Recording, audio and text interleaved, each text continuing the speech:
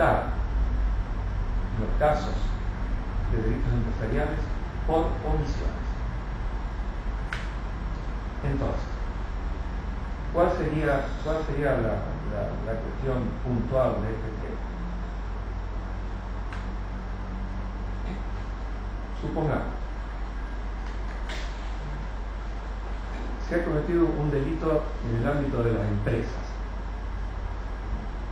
En el ámbito de las empresas, eh, digamos, en favor de la empresa, porque podría ser el ámbito de la empresa contra la empresa, un, empleado podría robarle o, defraudarlo al empleador, podrían pelearse con el empleado en el ámbito de la empresa. Pero estos delitos son delitos eh, que se generan en el ámbito de las empresas por distintas razones. Eh, un laboratorio eh, muy conocido de, orden conocido internacionalmente eh, que lanzó al mercado un medicamento y se comprobó que ese medicamento tenía efectos lesivos.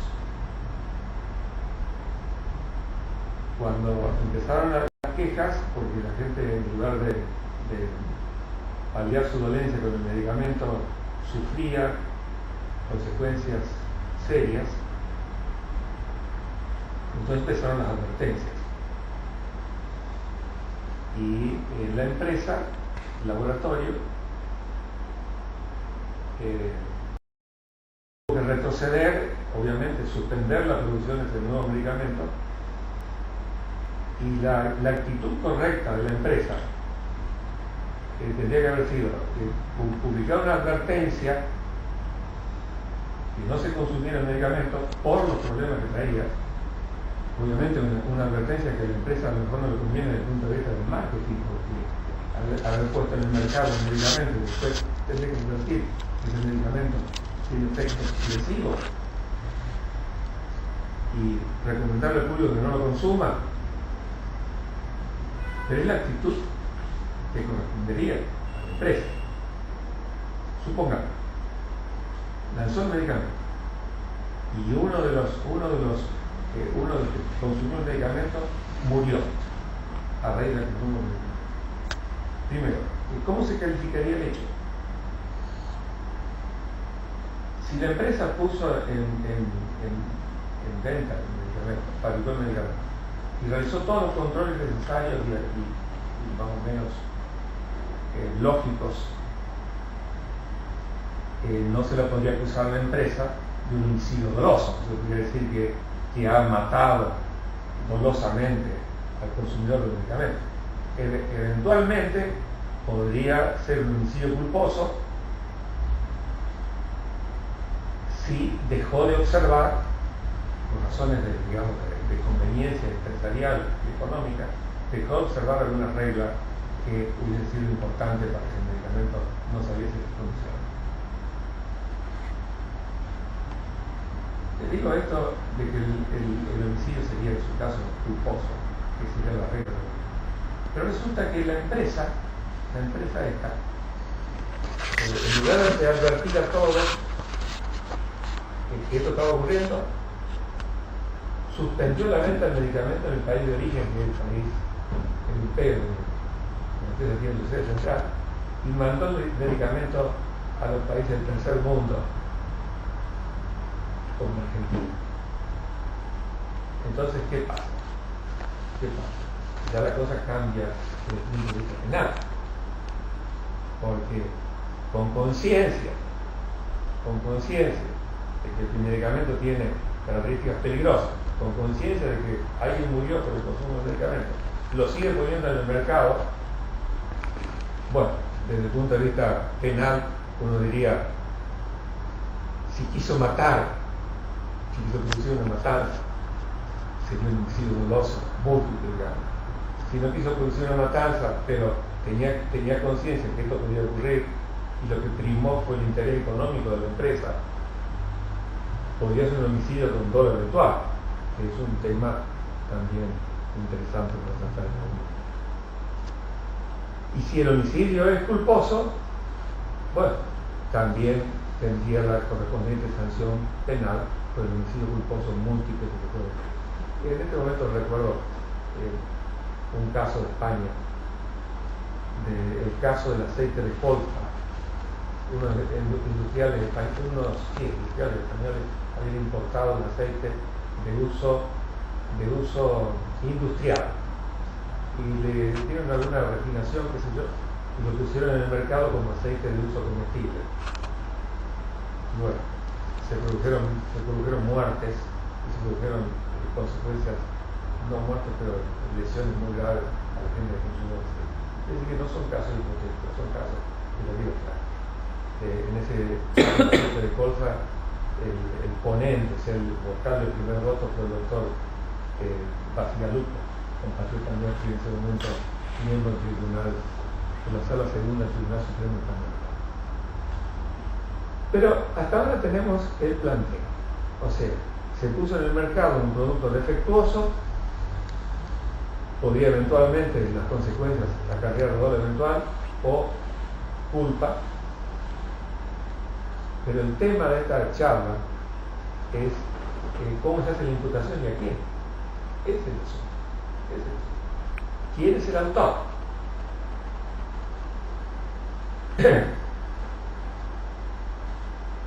Eh, ustedes se imaginan, una estructura empresarial, la sociedad anónima, tiene eh, presidentes directores y una empresa de, tal magnitud tiene áreas. Y en las áreas tiene, eh, tiene jefe de cada área, ingenieros químicos, y tiene finalmente el operario que hace la pastilla, y tiene quien lo distribuya, y tiene quien lo venda, quien lo traslade. Hay muchas personas. Al principio de la charla dije puede haber 5.000 personas. Entonces, ¿a quién se dirige la imputación? Los, eh, juristas están alarmados porque eh, dicen que a través de estas formas algunos críticos, no en mi caso, pero algunos críticos han agarrado por esto, estas formas empresariales eh, hacen que la responsabilidad se, se haga eh, difícil de probar, difusa, y entonces quedan personas eh, sin ser públicas. Eh, mi opinión, mi opinión en este caso es, distinta. Yo pienso que el derecho penal no tiene necesariamente que castigar a todos, ni castigar a todos con pena de prisión. Yo pienso que el derecho penal tiene que tener otras herramientas que no son necesariamente de ese carácter. Pero bueno, eh, hay quienes piensan, sobre todo fiscales que tienen la, misión de acusar, y jueces, la ley, sobre todo fiscales, que creen que a través de las organizaciones empresariales quedan zonas así de impunidad. Eh, y para cubrir las zonas de impunidad se están empleando eh, algunos que para nosotros son, por el momento, son solamente teorías. Eh, digo por, por, el momento para nosotros porque nuestro Código Penal no tiene una figura, una estructura en la parte general, que sí tiene, por ejemplo, el código alemán. Eh, los juristas penales, penalistas, sabemos que Alemania tiene gran importancia en el derecho penal porque en muchas teorías alemanas eh, se resaltan luego en estos países marginales.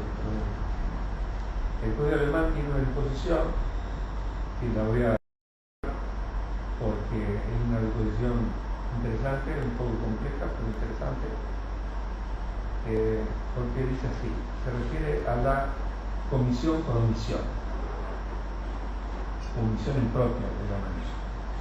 Y dice, el código dice dice, quien omite evitar el resultado. Lo voy a repetir porque eh, para ir eh, procurando los que escuchan, que lo vayan pensando. Dice, ¿quién omite evitar el resultado? Perteneciente al tipo de una ley penal. es punible conforme a esta ley si tuviese el deber jurídicamente impuesto de evitarlo y la omisión guardase correspondencia con un actor positivo.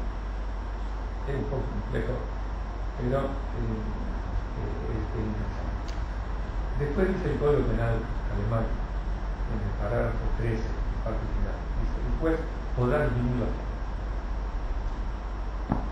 ¿De qué, cosas aparecen en la Argentina eh, vinculadas a este precepto del Código? Como recién dije, el Código argentino no tiene, no tiene precepto, no tiene precepto así.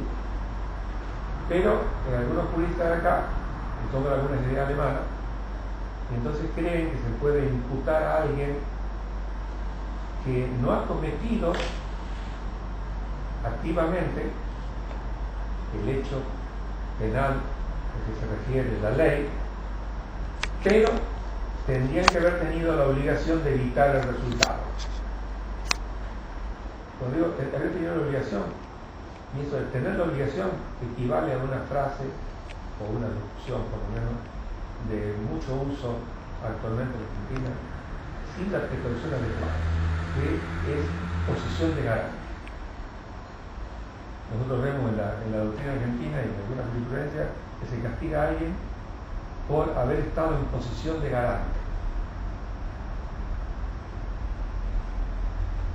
Esto quiere decir que no ha realizado el hecho, pero tendría que evitado. Y esto ocurre también en la imputación que se hace en el ámbito empresarial. Entonces se dice se dice por el El presidente del director, este director, es responsable penalmente por la muerte de aquel que consumió el medicamento en Antofagasta. Es responsable penalmente el presidente del directorio. Y algunos dicen, sí es responsable. ¿Y por qué es responsable? ¿Por qué es responsable? Porque él puso el movimiento, este todos los directores,